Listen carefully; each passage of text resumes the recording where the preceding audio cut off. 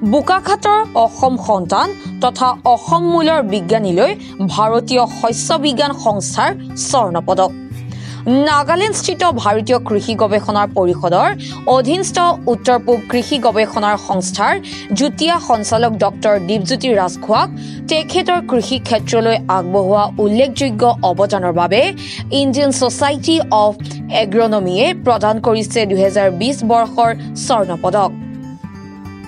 উল্লেখ্য ডক্টৰ ৰাজখোৱাই এই সন্মান লাভ কৰা প্ৰথমজন অসমীয়া তথা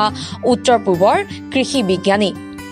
চলিত বৰ্ষৰ যোৱা তেইছৰ পৰা সাতাইছ নৱেম্বৰলৈকে হায়দৰাবাদৰ তেলেংগানাত অনুষ্ঠিত হোৱা ফিফ্থ ইণ্টাৰনেশ্যনেল এগ্ৰনমী কংগ্ৰেছত ডক্টৰ ৰাজখোৱাক এই সন্মান প্ৰদান কৰা হয়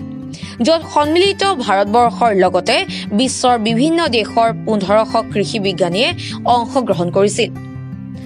উল্লেখ্য যে ডক্টৰ ৰাজখোৱাক ইতিপূৰ্বে ইণ্ডিয়ান ছ'চাইটি অৱ এগ্ৰনমী দুহেজাৰ ষোল্লৰ ফেল'শ্বিপ সন্মানৰ লগতে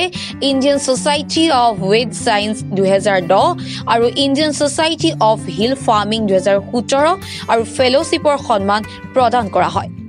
আনহাতে ডক্টৰ ৰাজখোৱাৰ প্ৰায় এশ পঁচিছখন গৱেষণা পত্ৰ বিভিন্ন ৰাষ্ট্ৰীয় আৰু আন্তঃৰাষ্ট্ৰীয় আলোচনীত প্ৰকাশ পোৱাৰ উপৰিও পোন্ধৰখনকৈ কৃষি সম্বন্ধীয় বিশেষ পুথি ইতিমধ্যে প্ৰকাশ পাইছে।